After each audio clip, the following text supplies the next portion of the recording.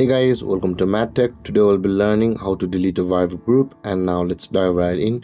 Now to delete a Viber group, first open up your Viber app on your phone in order to proceed to delete your Viber group guys you must be an administrator of that group. So with that being said guys open up the chat box of the group which you want to delete. And you can see guys this is the group I had created earlier.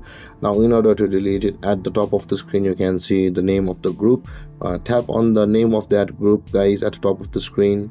And this kind of panel will appear where you can where you'll be required to scroll down on this panel at the bottom of the screen you can see there it says the leave and delete. Tap on leave and delete and here it also says if you delete this conversation you will also leave the group and will stop related stop receiving related messages.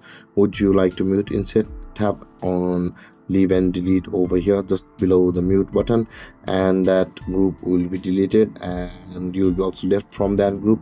And with that being said guys this is how to delete Viber group. And if you have any confusions or questions regarding the topic feel free to comment in the comment section below. And don't forget to like subscribe and hit the bell icon for more videos. Thank you for watching guys. Peace